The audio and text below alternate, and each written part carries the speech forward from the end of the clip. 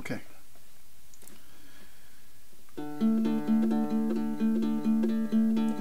It seems just yesterday I was rolling into work, and my good bro Cameron asked if I had a moment to spare. Led me down a hallway where his camera was waiting, looked me in the eye, and his hand started waving. But those days are gone. Cameron's got a new job. He's off to slap someone, someone else. So I'm left asking who now will slap me in the face. Cameron's one of one, not someone you replace. Seems sure it stung when his fingers touched my cheek, but not as bad as this, cause So after his direct hit, Cameron turned to me. He let me wind up and hit his face squarely. See, but when I was hit, I flinched just like a scaredy cat. But Cameron took his slap in style and stood steadfast. Now my flinch is turned to tears. Cameron's got a new job. He's off to slap someone, someone else.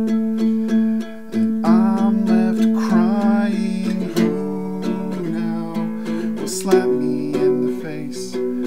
Cameron's one of one, not someone you replace. And sure, it stung when his fingers touched my cheek, but not as bad as this, cause he's leaving. Of course, Cameron's so much more than slapping. A great friend, storyteller, and more. I can't believe this is happening. Cameron, won't you slam me on your way out the door?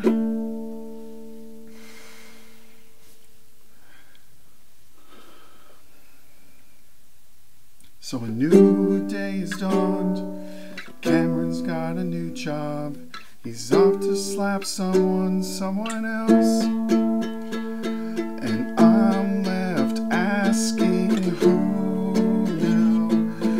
Slap me in the face. Cameron's one of one, not someone you replace. And sure, it stung when his fingers touched my cheek, but not as bad as this, cause he's leaving.